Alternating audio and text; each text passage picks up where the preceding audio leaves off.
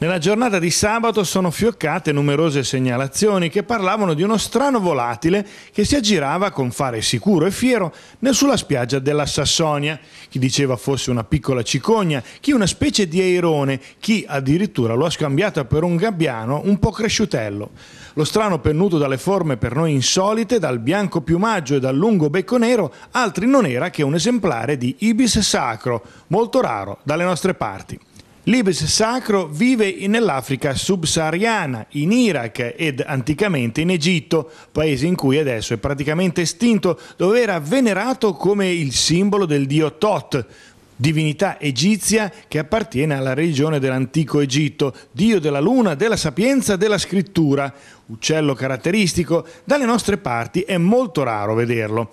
In tempi recenti, a causa di fughe o liberazioni di individui detenuti da zoo o collezioni private, l'ibis sacro è stato introdotto anche in altri luoghi, tra cui la Francia e l'Italia. Prevalentemente al sud, ma numerosi esemplari vivono nel Vercellese, nel Cremasco, sul delta del Po.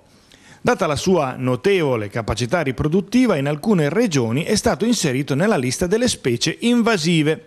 Ma allora come ci è arrivato sui ciottoli della Sassonia per questa inaspettata esibizione?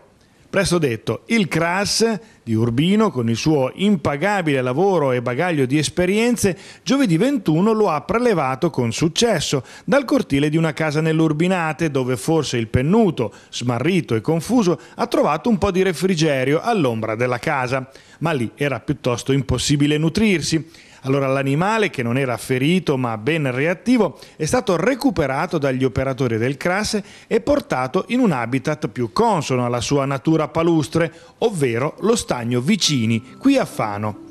Ecco spiegata la sua presenza nella Sassonia. Lo stagno non è una struttura chiusa, pertanto l'animale era libero di muoversi a piacimento. Forse anche lui, alla ricerca di un po' di refrigerio, ha pensato bene di fare due sbattute d'ali in spiaggia.